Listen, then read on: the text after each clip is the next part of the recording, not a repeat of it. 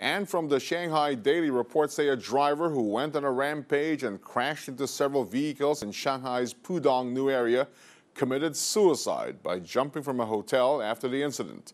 Reports say that the man shouted at the scene and behaved abnormally after the crash.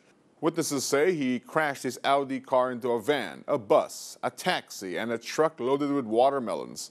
Reports say the man was seen entering a nearby hotel where he jumped off the ninth floor.